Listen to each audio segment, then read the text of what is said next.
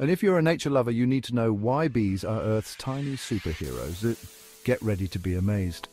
Honeybees can fly up to 15 miles per hour, zipping through the air like little rockets.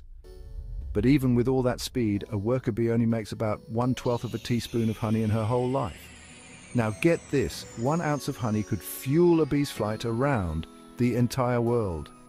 And to make just one pound of honey, bees visit 2 million flowers and fly 55,000 miles. That's like traveling around the earth twice. Each bee visits 50 to 100 flowers in a single trip, collecting nectar with superhero efficiency. And their honeycombs? They're hexagon-shaped, with walls just two one-thousandths of an inch thick, yet strong enough to support 25 times their own weight. Ever wondered why bees buzz?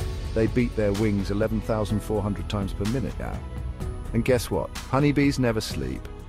So next time you see a bee, remember, they're tiny superheroes keeping our planet alive.